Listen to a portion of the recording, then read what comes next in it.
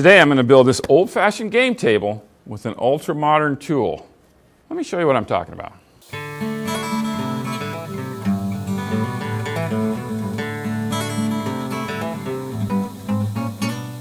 To get this project started, I glued up leg turning blanks and oversized tabletops, all from three-quarter ash lumber. It's bread and butter woodworking, just gluing and clamping. Any kind of hardwood would do, but I happen to love the look of ash lumber, especially with a clear finish. I'm going to turn these legs into simple cylinders, but they're going to be joined with some cross pieces that are going to be mortised and tenon into each leg. And I'm going to chop those mortises now because it's so much easier to do it when they're square.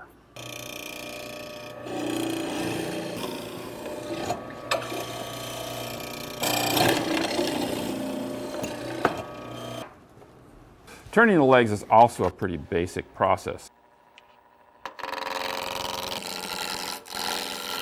They are cylinders with a small rabbet at the top and a short foot at the bottom.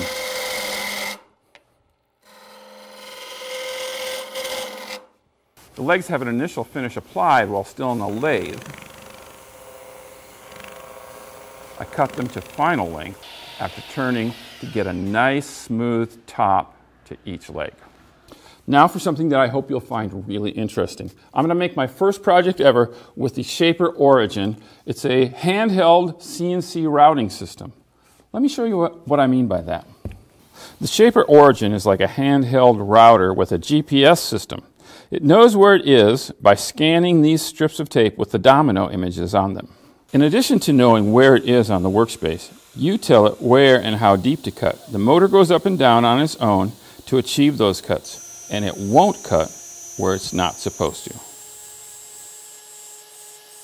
Now the shaper does need some programming to tell it how and where to cut, but you don't need to know any special programs or anything. We just gave Shaper a uh, 2D drawing, we sent it to their Shaper Assist at the Shaper Hub, and then they sent us back the files, which we're going to use to make this table. You can also get existing files from their Shaper Hub section of their website. So let's get started. Here I'm scanning the workplace. This tells the shaper where it is in relationship to the tape.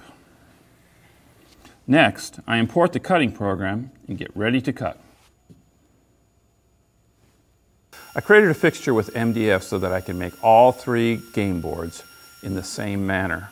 You'll notice the tape remains on the fixture so that when I slide a new tabletop piece in, all I have to do is put the tape on that surface. It's very handy. The Shaper Origin really worked well when I was cutting out the circles in the nine men Morris game. I first cut the outside of the circle with an eighth inch diameter bit, and then I used the pocketing option to remove the rest of the material. It was very slick.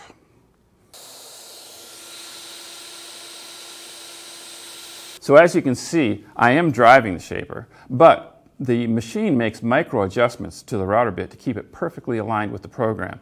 But should I drive off the road, the router bit will lift to keep me from ruining my workpiece. Anytime you learn how to use a new tool, especially one that is as versatile and complicated as this one, you gain insight with each new operation. For example, cutting out the perimeter and rabbeting the top of each edge of the tables. I made all four of them for this project using the shaper. If I was to do it again, I would use the shaper origin to make a template and then fabricate the four tops by more traditional template routing techniques. It just would have been faster. Now that the tops are cut to size, I'm going to verify the distance between these curves here because that determines the length of our cross pieces and then again the tenons. Once I got that verified, then I'm going to cut the pieces to length, raise the tenons, do the half laps,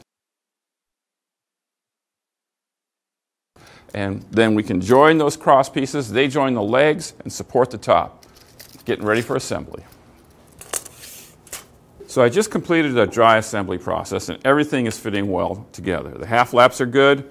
The mortise and tenons are seating well and they're tight enough that they're really going to hold. I'm going to take it all apart now, apply the glue, clamp it up. I'm going to use band clamps, but pipe clamps will probably work just as well. Then the next step at assembly is to put this base plate uh, tabletop right on top of it, screw it in place.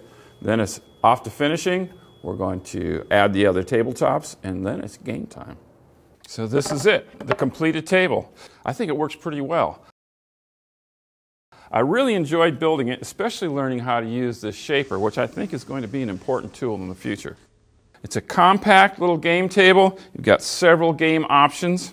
And when you're done playing games, you can just flip it over, and it's a regular table. I'm Rob Johnstone from Woodworkers Journal.